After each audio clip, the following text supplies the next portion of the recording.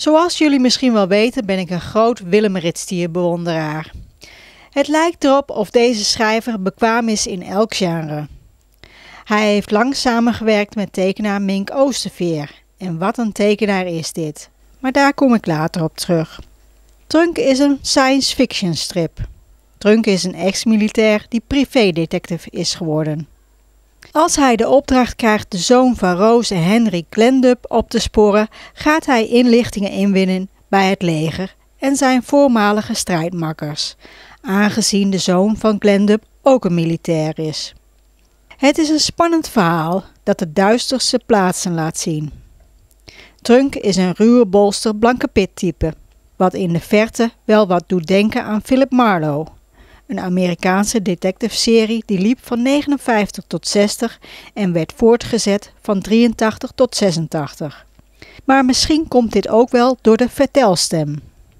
Trunk laat in een voice-over weten wat zijn gedachten zijn. Dat vind ik wel zo zijn charme hebben.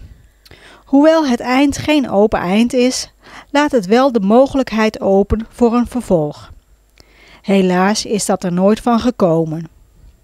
Dan over het tekenwerk. Laat ik beginnen te zeggen dat ik Mink Oosterveer een van de beste tekenaars vind die Nederland ooit heeft gehad.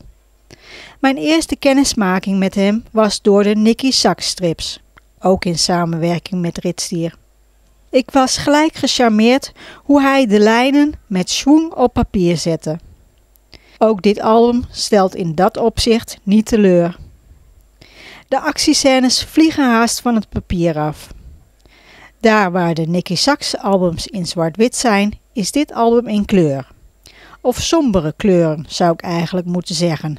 En dat is zeer toepasselijk, want Trunk bevindt zich niet in de meest vrolijke plaatsen. Om een understatement te gebruiken. Hoewel ik niet zo van de science fiction ben, met uitzondering van Doctor Who dan, vind ik dit in dit genre een erg goed album. Op de cover staat veelbelovend een 1 en ik zou het leuk vinden als er nog een vervolg op kwam. Ik ben in dat deel voor meer vampiers. Maar ja, wie zou dat kunnen tekenen? Want helaas is Mink Oosterveer overleden.